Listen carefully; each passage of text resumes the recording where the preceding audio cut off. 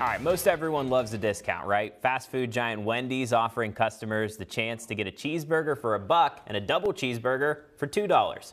It's part of their own version of March Madness. From now until April 10th, customers can get that deal through the Wendy's app. Are you a burger girly? I, I think so. It's been so long since I've had a Wendy's burger Yeah. though because look, they're kind of pricey. Yeah, Like, really? yeah, I was gonna say just a little pricey, but I've never had a Wendy's burger. So I think so. They're good. In my opinion, they're good. It's just not necessarily worth the usual amount of money. So one, two dollar, I'll take that. they're the square, right? yeah, the, little square burger. ones. Yeah. See, I'd be in for the discount if it was the 10 piece nugget meal, but I, I'm, I'm not a, the burger guy, Mm. Yeah. so I'm, I'm, Oh. I'm out on it. Well, maybe next time around, next March Madness, they'll Yeah. take that into account. We'll pitch it. Yeah.